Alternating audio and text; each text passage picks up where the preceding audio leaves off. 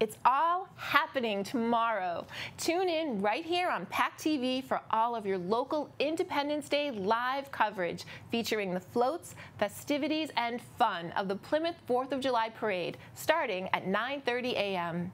We'll end the celebration of our country in style at 7.30 p.m. when our crew will be on the waterfront to stream the Plymouth Philharmonic Orchestra Esther and Alcide Ruffini 4th of July concert from Pilgrim Memorial State Park.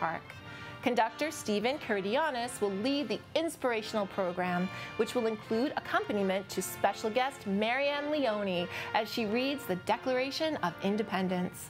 Watch it on Comcast 13 or Verizon Channel 43, or visit pactv.org to stream it live.